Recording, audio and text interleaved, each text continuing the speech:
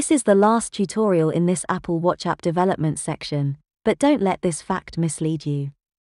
It is indeed a pretty important one since we will develop a handy feature for this WatchOS application. When users tap on the gear button, then a new settings sheet will show up. And in this settings sheet, users can set the maximum number of lines in each row in the list view using a SwiftUI slider. Besides that, while we are developing this usable feature, we're going to learn how to create a custom binding in the Swift programming language. You should pay attention to this part because not many online video tutorials or traditional articles teach you how to do it properly. And the best part of it, that by the end of this class, our note-taking Apple Watch application will be ready to show up in your portfolio. It sounds a great deal, isn't it? Then let's kick off Xcode and start coding along with me. First things first. Let's create a new file for this new page. Select the view group as its destination, then select the SwiftUI view template as I do. Then, give it the name, Settings, and save it as usual. Now, we need to replace the welcome message with a new vertical stack container. Enter the following code vstack. Spacing. 8. New comment. Header. New comment. Current count number of lines. New comment. Slider. New comment. The end of the vstack container. With these comments inside the vstack, we predefined the major sections in the layout. After all of this prep work, we will start with the header section. Enter this code. Header view. Title. Settings. It couldn't be effortless to add a new header to this page, am I right? That's the power and beauty of creating reusable components with SwiftUI. As far as the next section, we need to create a new line count property to store the current value of the maximum line numbers. So let's do it. Enter this code, please. At App storage. Line count. var. Line count. int. Equals 1. App storage. As you can see the default value of the maximum line number is 1. And, by using the line count key in the app storage property wrapper, we can store this value permanently on the Apple Watch. The App Storage property wrapper uses the user defaults under the hood, and its major benefit is the following. The App Storage automatically reinvokes the view's body property when the line count key changes in user defaults, and it will refresh the user interface immediately. In our case, when users increase or decrease the maximum line number, then the Notes app's view will automatically be refreshed with the requested modification. How cool is that? Of course, to make this happen with the use of the slider is not as simple as that, but don't worry because I will show you how to manage it. Current line number. Now, let's continue the work with the second section in the layout, shall we? Our goal is to display the actual line number in the list item. To do that, first, go to the body and enter the following code. Text. Lines backslash, open parenthesis, line count, closed parenthesis, uppercased. Font weight, bold,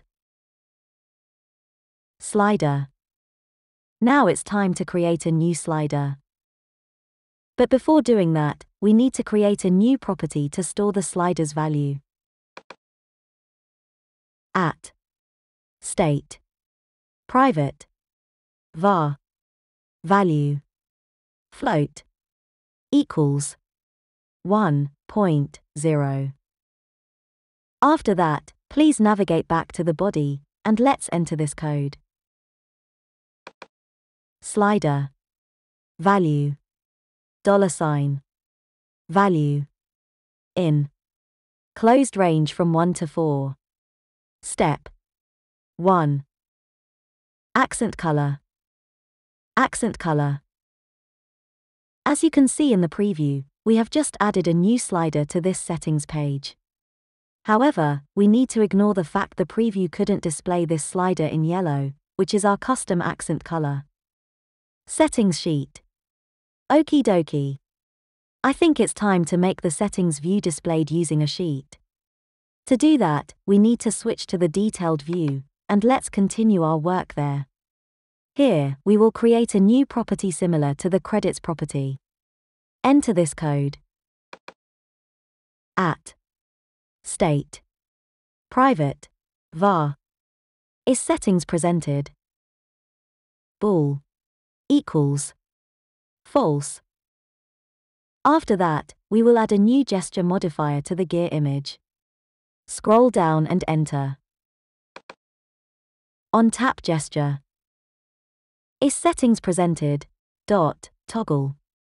Then, let's add a new sheet modifier to this image as well. Sheet. Is presented. Dollar sign. Is settings presented? Content. Settings view. Testing. Great job. It's time for testing what we have done so far. Let's build and run the Notes app. After the launch, select a note from the list. Then tap on the gear button as I show you. As you can see, the design and the layout of the settings page is done. Let's see how the slider works, shall we? As you can see, we can increase or decrease the value in a closed range. So far, so good. Now, it's time to develop the logic to make the desired changes in the maximum line number. Update function. The next step is to create a new function that will make this feature work. Enter the following code. New content. Function. Func. Update. Line count. Equals. int. Value. As you can notice, we assign the line count property with the slider's value. It's as straightforward as it is. We need to figure out how to call this function each time the slider's value changes. To make that happen, we need to modify the slider. More precisely, we need to replace the existing value binding with a new custom binding. I will show you the exact formula for doing that, so you can use it whenever you need to in your programming career. Navigate the cursor to the binding in the slider and replace it with this code. Slider Value Binding Open parenthesis get self dot value set open parenthesis new value closed parenthesis in self dot value equals new value and finally self dot update the rest of the slider's code is unchanged. As you can see, we have just created a custom binding with closures that read and write the binding value. On the one hand, the get closure has no parameters, and it returns a value. However, on the other hand, the set closure has the following parameter. New value. This parameter is the new value of the binding value. After we get and set the binding value, we call the update function. This update function will assign the maximum line number with the slider's new value. I hope that could follow my explanation and everything is crystal clear. With this custom binding, we can update the line count, and our feature is done. How fantastic is that? Just one more thing. Maximum line number. We have only one thing that we need to do before we call it a day. Please, open the content view file, and let's create a new property. Enter this code. At App Storage Line Count var line count int equals 1 the Notes application must now what is the value of the maximum line number when it launches. That's why we created and initialized a new line count property. After that, the very last thing we need to do is to replace the line limit modifier's static value with this dynamic property. So let's do it right now. Line limit. Line count. And that's it. We have just finished developing the Notes app for Apple Watch.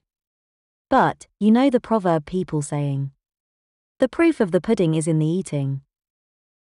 Testing. That's being said, let's build and run the Notes app either in the simulator or preferable on a real Apple Watch device. After the launch, select a note from the list and tap on the gear button in the detailed view page as I do. Now, on the settings page, we need to set the maximum line number from 1 to a higher value in order to see what will happen on the home page. So let's do that. 2 will be just fine, in my opinion. After that, dismiss the settings sheet by tapping on the cancel button and go back to the home page. If everything goes well, then you should see the result in the notes list. We have just increased the line limit from 1 to 2. How cool is that? What about increasing this value even more? Let's try it out. Can you notice any glitches in how this feature works? It works as it is supposed to do. Did you enjoy the whole process while developing this Notes application? If your answer is yes, then I have some good news for you. This project was just the beginning of Apple Watch app development. More WatchOS projects with interesting topics will be added to this course. And, if this is something that you want to learn, then keep watching. Until then, enjoy the learning process and happy coding.